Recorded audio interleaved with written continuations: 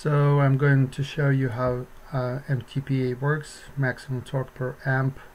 This is a test on um, PV controller 24 MOSFET rated for 150 amp battery and up to 400 maybe 500 amps um, current uh, motor current so this is a new firmware and it allows to set up uh, a difference in LD and LQ inductance. So MTPA is basically injecting the negative current uh, to the phases to reduce the uh, back EMF and that allows us to get uh, more uh, current or more torque applying uh, about the same or more a little bit more current allowing us to get more torque. So basically using more uh, efficiently the uh, FOC uh, algorithm. And also side effect of that is also we can operate at higher speeds above the base speeds for the voltage of the battery. So right now we're looking at, uh, for this test, we're looking at 80 volts, around 80 volts. So without MTPA enabled we're getting um, we're getting around 23 let's look at it. So I'm using the motor that that is uh, loaded so it has some load attached to it. And we're getting around 23,000 ERPM on 80 uh, volts. So now what we can do is the, the largest number I used here and this is a, by the way it's an IPM motor so we should be getting pretty good uh, results with it because um, MTPA and, and, field weakening really works with the IPM motor where uh, the uh, inductance saliency is, is uh, high, higher than in surface mount magnet motors. So let's see I think the largest one I tested with was 40 and that's where it started uh, cogging and had a run runaway condition and overcurrent condition which this controller has protection against. So I'm gonna try 30 and now it's a safe value. And 30 now we're gonna spin this motor under load watch what happens.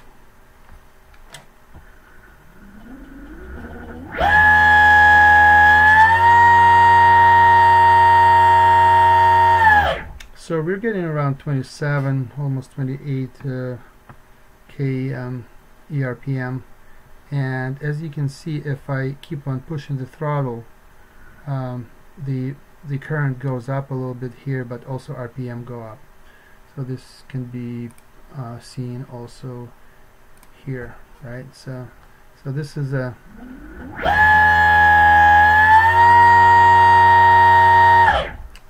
so we get that bump over here. That's basically where that's what the uh, MTPA adds. Now if we go and try to overdo this a little bit 40 let's see what happens. So we have a protection uh, triggering you can see fault driver. So that's a hardware protection where it will detect the uh, overcurrent and shut off the uh, MOSFETs to, to prevent uh, a fire or short circuit basically damaging the MOSFETs so what what are the things? Okay we can actually see what happens here. So if you it doesn't always work but let's try this again.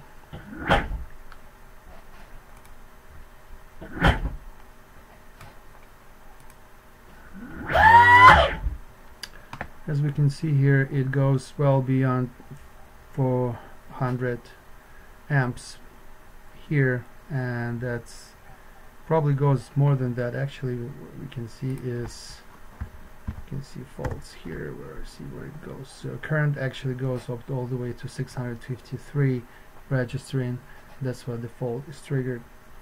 And that's because an RPM by the way at that happens in 29 or something K RPM so uh, that's uh, that's a protection that triggers and I can I can do the, this kind of test because there's a protection in place. Uh, so also sometimes uh, so it actually has dual protection. One is uh, the software based protection where this once this value is exceeded the the software will shut off the uh, MOSFET so shut off the power stage. However if something goes bad the software is not functioning or something re restarts or something happens to the software the hardware will also kick in and that's really what's happening here. So right now if you saw that ABS overcurrent that software triggering like right now and then and now driver triggering. So either of those will will basically back up uh, each other. And if one fails the other one will trigger. So that's very important to have that. Uh, let's see what else we can show here. So if we drop this value to less we will have less of a uh, MTPA um, less effective. So if we go it will work but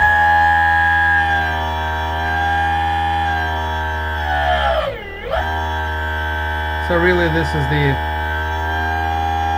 it's adding around 5 amps to the current consum consumed because it's MTPA kicks in and injects currents. So this supposedly also uh, allows to have a more effective um, or more more torque when you operate pretty much at any position of the throttle okay that's all I wanted to show. The other thing is that I just want to mention this uh, detection works flawlessly now so I can detect pretty much any motor and it, it consistently detects within one or two units which are not uh, crucial but so and depends all also on the uh, motor uh, temperature so it's better to detect it when it's cold and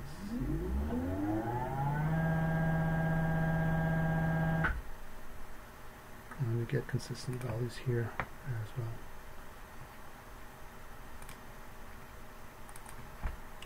Add a little bit more here and detect Hall sensors.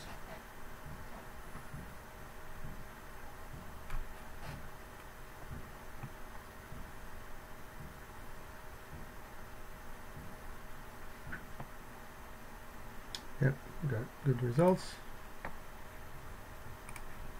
And it works. with this motor particular motor I found that uh, probably 30 um, is a good value for the MTPA microhenry so motor inductance difference ODQ so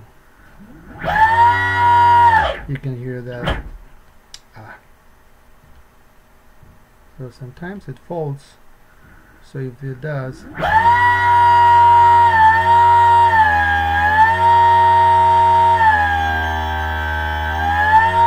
That difference in the pitch really tells you that's how much it adds to the RPM uh, RPMs above the base uh, speed of the motor and here you can also see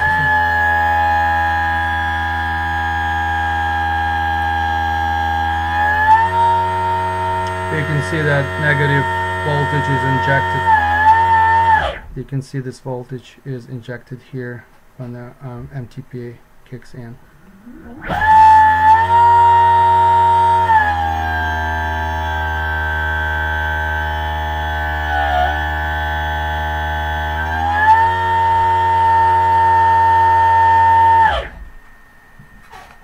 so that's uh, that's that additional um, speed or RPMs as the MTPA is adding. Alright, that's all I have.